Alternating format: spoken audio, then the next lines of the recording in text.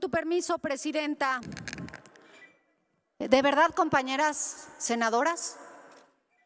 Eso es lo que queremos que los medios de comunicación, nuestros electores vean, cómo las mujeres nos conducimos en la casa del federalismo. ¿Es de, es de verdad?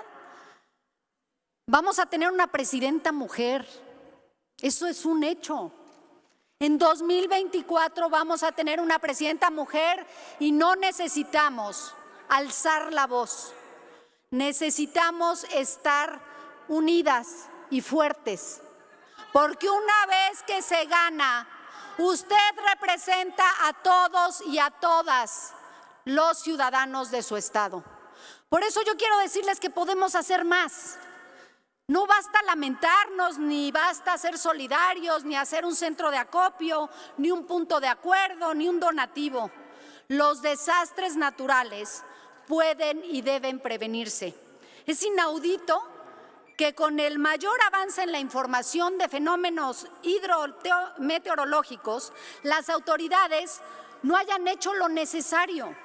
Es inaudito que los medios de comunicación hayan anunciado horas antes el arribo inminente de este huracán y que los responsables no hayan actuado a tiempo para evacuar.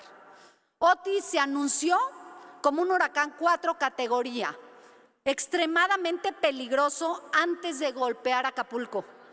Y hoy sí, hoy sí necesitamos que el ejército y la marina hagan lo que les toca y lo que puedan hacer el plan DN3 es el rostro que esperamos las y los ciudadanos ver ahí.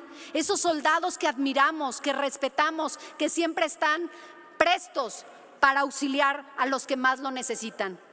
Ojalá no sean los únicos que estén allá. Ojalá y podamos unir voces, hacer más.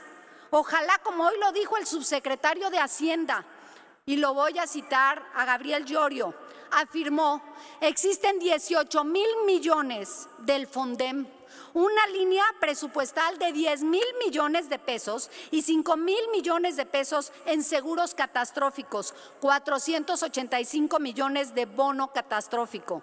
Me subo, por supuesto, a la tregua fiscal que propone el senador Germán Martínez. Me sumo a la propuesta de la senadora Xochitl Gálvez, pero les pido que hoy más que nunca el Senado de la República mande un mensaje de unidad.